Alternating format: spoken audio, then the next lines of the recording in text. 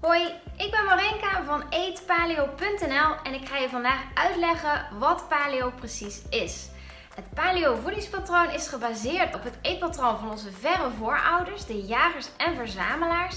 En dat betekent dat je binnen paleo heel veel groenten eet, uh, wat vlees, vis, eieren, fruit, noten en zaden. Het zijn eigenlijk alleen maar natuurlijke producten en het is zoveel mogelijk onbewerkt. De reden daarvoor is dat de genen van onze voorouders, dus de jagers en de verzamelaars, nog steeds heel sterk lijken op de genen die we nu hebben in de moderne maatschappij.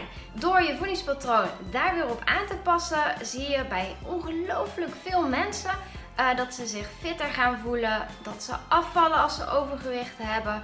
Uh, ze krijgen echt heel veel meer energie. Veel mensen komen van medicatie af en nog heel veel meer. Voor mij persoonlijk heeft paleo betekend dat ik van mijn chronische vermoeidheidssyndroom af ben gekomen.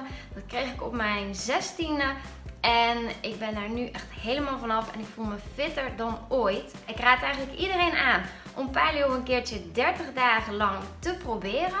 Voor mij persoonlijk is paleo namelijk veel meer dan alleen voeding. En dat kun je alleen maar ervaren wanneer je het echt een keertje probeert. Nou, hoe doe je dat? Op mijn website eetpaleo.nl vind je eigenlijk alle informatie die je nodig kan hebben. Alleen dan moet je het wel zelf even opzoeken.